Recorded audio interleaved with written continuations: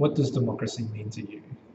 Well, democracy uh, means that I have the right to contribute and participate in discussion of how power is distributed in our society, and also just the, the direction, the vision for the future that we have. Um, it, it's, it's a means in which I can participate in the collective discussion of our future and where we're heading, and to, to continue that dialogue and to build upon the conversations of years past.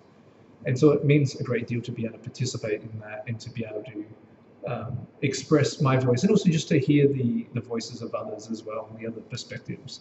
So it's a really good opportunity. You know, I look at it as an, as an opportunity to, to connect with others and to, you know, understand my values and their values and the shared values that we have as nations, as states and as communities.